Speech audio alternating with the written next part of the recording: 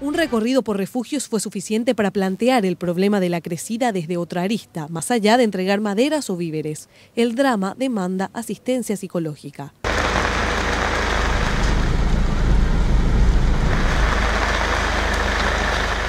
Esto motivó a que especialistas de la DIVEN, IPS y del Ministerio de Salud lleven asistencia a niños y adultos en refugios. El trabajo empieza este viernes en el barrio San Francisco y el sábado en el RI 14. El trabajo eh, se trata de hacer juegos en contención con los niños, ¿verdad? Dispersarle un poquito de, ese estrés que ellos eh, están viviendo ahora mismo, ¿verdad? Quitarle un poco de ese, de ese día a día en que están sin sus casas. de repente hay algunos que están sin escuela ahora, porque podemos hacer terapias eh, grupales, ¿verdad? exponer talleres, exponer sus necesidades, a ver qué nosotros podemos ofrecerle en un trabajo previo encontraron varias patologías, especialmente en adultos. Eh, y más desesperación, ¿verdad? Más desesperación, estrés eh, por la situación misma, ¿verdad? Eso es lo que más encontramos.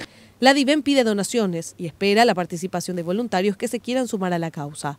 Psicólogos sociales hacen un pedido especial a la ciudadanía. Primero, la empatía, ¿verdad? Eh, mucha gente em, eh, empieza a criticar, eh, no, ellos quieren vivir de esa manera, pero ponernos un poquito en el lugar del otro, ¿verdad?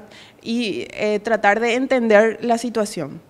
El trabajo de asistencia y contención psicológica se hará primero en Asunción, pero el objetivo es llegar a todo el país para este fin de mes.